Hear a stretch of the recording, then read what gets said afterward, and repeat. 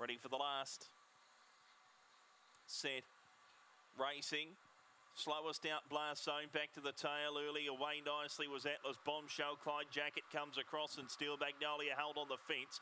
Then Harston Flair back to the rail blast zone. Saves some ground but still six off the lead.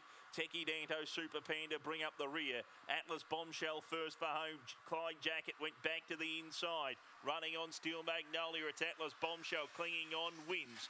From either Steel Magnolia and Clyde Jacket, they're wide apart. Then Techie Danto.